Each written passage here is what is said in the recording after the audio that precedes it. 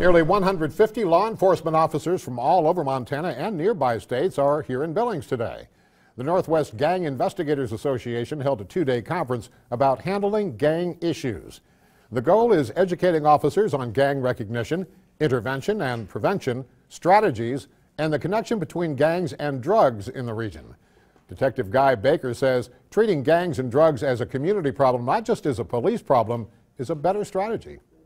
They're highly mobile, very violent criminal enterprise. They're often involved in interstate drug trafficking, but really from a community standpoint, you want to look to see what you're doing today and how it will affect your community uh, next year. The Northwest Gang Investigators Association also educates students, school resource officers, and many others on strategies in dealing with gang activity.